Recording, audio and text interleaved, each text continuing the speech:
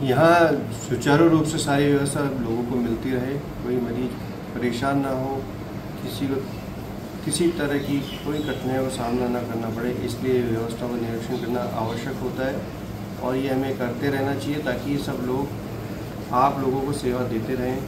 सारे चिकित्सकगण चिकित्सा कर्मी सारे सफ़ाई कर्मी गार्ड, सबके सब सेवा में हमेशा तत्पर रहते हैं और वो हमेशा रहते हैं। आज मैंने देखा कि सारे कर्मचारी सारे के सारे अपने कार्य में व्यस्त थे, सब अपने कार्य को अच्छी तरह से निभा रहे थे। कुछ थोड़ा बहुत कमियाँ थी, उनको सुधारने की आवश्यकता है, उनको हमने इंस्ट्रक्शन दे दिया है और तुरंत वो सुधार भी लाएँगे। सफ़ाई का विशेष ध्यान रखा जा रहा है।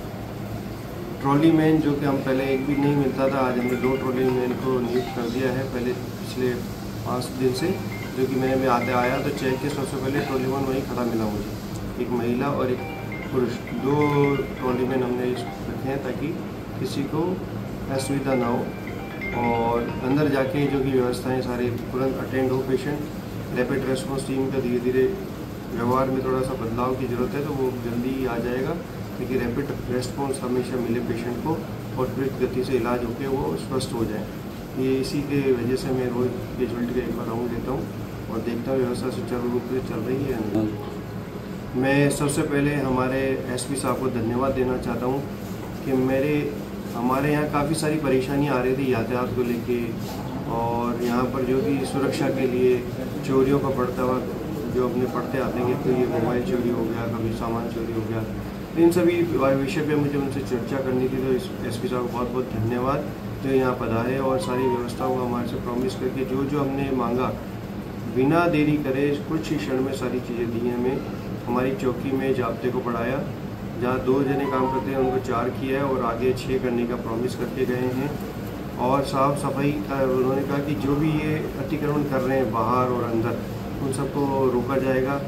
ट्रैफ़िक वालों को उन्होंने तुरंत अधीक्षक को बुला के उन्होंने सारी व्यवस्था को समझाया और उनको बोला कि यहाँ पर ट्रैफ़िक का ज़्यादा सुचारू रूप से रहे कोई ताकि कोई एंबुलेंस को असुविधा ना हो, मरीजों को आने में असुविधा ना हो तो सुगम रहे। उसी की व्यवस्था आप देख ही रहे हैं कि काफ़ी सारे वाहन व्यवस्थित हैं, तुरंत एंबुलेंस आ सकती है हमने one one one way direction भी कर दिया है। एसपी साहब का बहुत बहुत धन्यवाद और हमें आगे उनका सहयोग मिलता रहेगा उन्होंने विश्वास दिलाया है।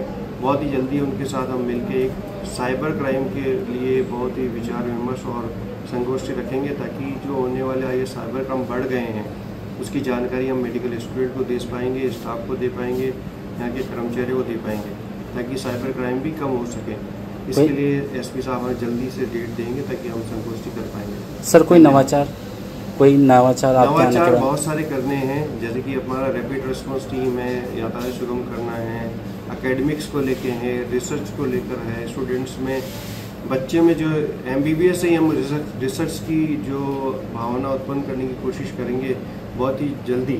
सरकार द्वारा भी एक प्रोजेक्ट आने वाला है जिसमें कि बच्चों से अंदर ही रिसर्च की भावना जागे।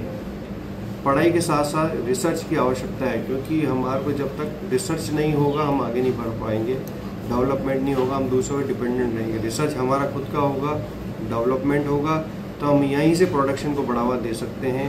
साइंस के क्षेत्र में या खुद चिकित्सा के क्षेत्र में और विभिन्न प्रकार की रिसर्च अगर साइंस में होंगे तो नए आयाम खड़े होंगे, नवाचार होगा। तो ये रिसर्च का जो डेवलपमेंट है, एक स्पेशल आईसीएमआर द्वारा प्रोजेक्ट भी यूजी स्टूडेंट के लिए होता है।